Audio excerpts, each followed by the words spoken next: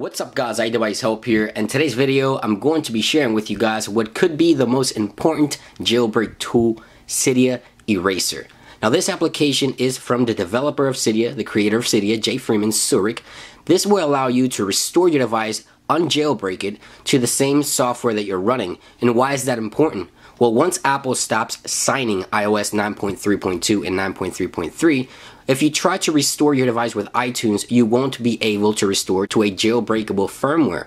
Apple will not let you do that in the future, and that may be the case by the time you watch this video. So this will allow you to unjailbreak your device with no computer directly on your device, and also keep the firmware. So at this point, iOS 9.3.3 is running on this device, and that's a jailbreakable firmware. So this is going to allow me to wipe out my jailbreak if I have any issues and re-jailbreak my device, everything done directly on device.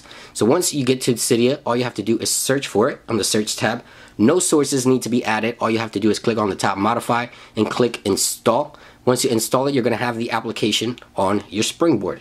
Go ahead and launch it. Here you'll get some information on what you have to do before you proceed. At this point, you want to make sure that you've connected your device to the computer to back everything up. Pictures, videos, anything important you want to save before you do this on your device. If you have any important information on your device that you want to keep, then all you have to do is erase all jailbreak data. Erase all, and that's all you have to do.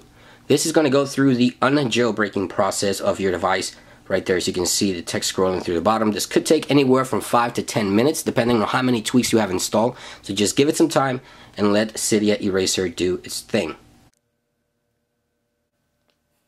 Alright, so here is the first respring. Just be patient guys, let it do its thing. Alright, so it looks like my device is rebooting at this point. This is first, it went into the Apple logo, now it looks like it's rebooting again. The whole process right now, it's taking about five minutes. Okay, now we have this progress bar going down the middle, and it's going to respring one more time.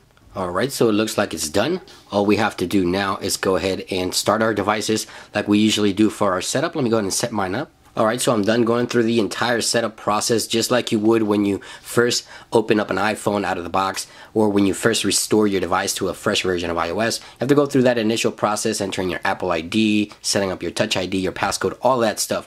Once you do that, go ahead and enter your device's passcode and just get started. And there we go.